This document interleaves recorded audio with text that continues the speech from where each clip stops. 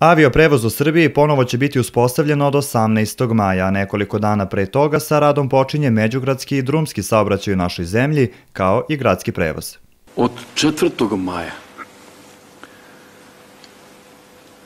mogućava se da se obezbedi gradski saobraćaj, gradski prevoz i to u Novom Sadu i Kragujevcu, a od 8. maja u Beogradu i Nišu.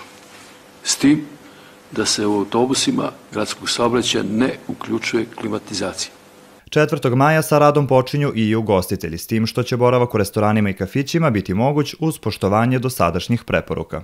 Na otvorenom, u baštama, to sasvim moguće, uz poštovanje socijalne distance, uz korišćenje zaštitnih sredstava, a kada se radi u zatvornim prostorima, to mora biti tako urađeno da omogućava poštovanje svih ovih preporuka koje su već vama svima poznate.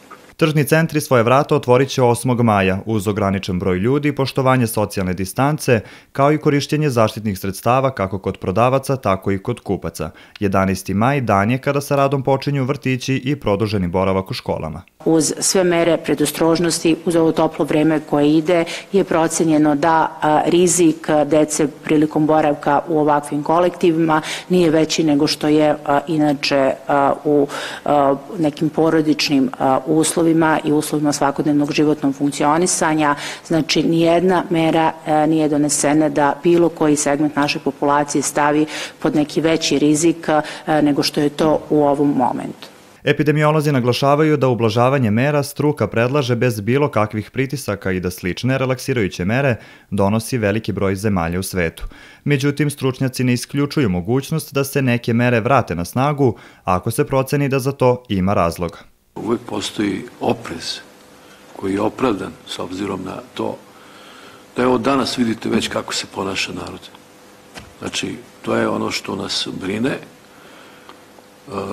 može se lako desiti da posle ovoga kada budemo procenjivali epidemiološku situaciju u narednim danima i uočimo da je došlo do nečega što nije dobro, da se vratimo ponovo na sve staro. Struka je jednoglasna i kada reč o popuštanju mera za prvomajske praznike. Preporuka je apsolutno da se strpimo još malo jer se, se vidi kraj izlaska iz ove epidemije i ne treba sada da zbog gubitka strpljenja, zbog želje da, da, da provodimo vreme napolju, da pokvarimo ono što smo do sada uradili. To je naša preporuka. Kako će i kako će odluka da bude državnog vrha, mi to ne znamo u ovom momentu. Kada je reč o obeležavanju predstojećeg Đurđevdana, stručnjaci kažu da je to veliki praznik i da je jasno da postoji veliki rizik. Pa tako apeluju na građane koji slave da to učine u kućnim, porodičnim uslovima, jer samo tako možemo da sačuvamo rezultat koji smo postigli kada je reč o epidemiji koronavirusa.